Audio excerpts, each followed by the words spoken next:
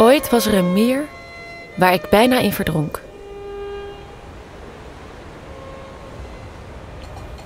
Toen ik 14 was, kreeg ik lymfeklierkanker. De maanden daarop bracht ik veel tijd door in quarantaine in het ziekenhuis.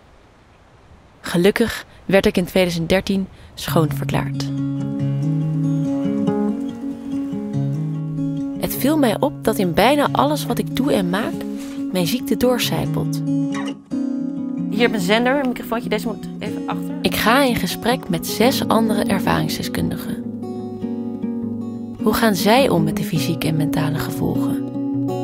Ik ben bang dat mensen het gewoon niet begrijpen. En ik ben vaak misschien wel bang dat ik het niet goed kan uitleggen ook. Ja, ik ben altijd moe.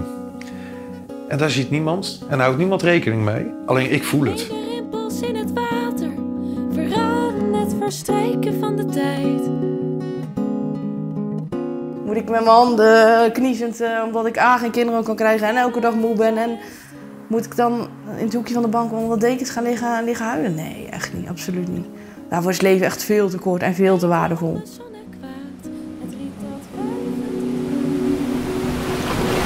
Zo'n ziekte, kun je dat eigenlijk wel verwerken?